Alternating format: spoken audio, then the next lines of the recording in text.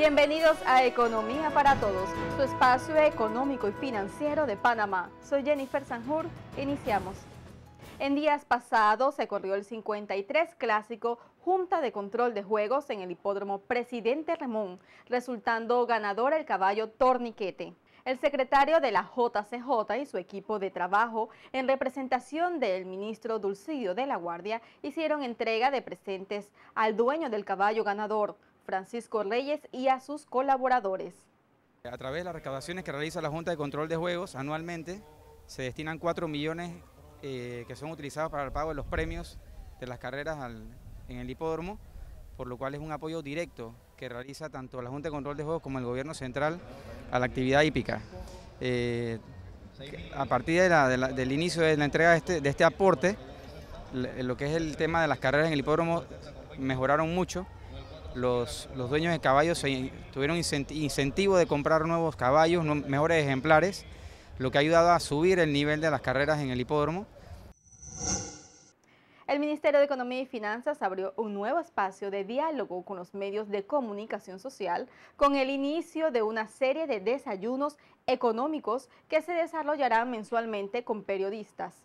Esta iniciativa, que responde al compromiso de la institución con las políticas de transparencias, rendición de cuentas y gobierno abierto. Lo que aquí queremos hacer es eh, explicarles un poco cómo se formula el presupuesto cómo funcionan los, procesos de traslado de partida y los créditos adicionales de tal forma de, eh, poder pues, tener un diálogo con ustedes y que ustedes puedan comprender cómo funcionan estos procesos dentro del mismo ministerio. Más adelante, la intención del MEF es tener un desayuno al menos mensual con, con los periodistas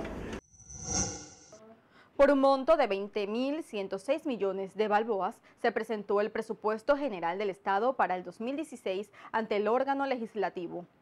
Las inversiones contempladas en la programación económica del año entrante asciende a 4.565 millones de balboas y de ese total, 1.482 millones corresponden a proyectos emblemáticos de la actual administración inició la 38 Feria Nacional de Artesanías bajo el nombre de Excelencia Artesanal para el Mundo.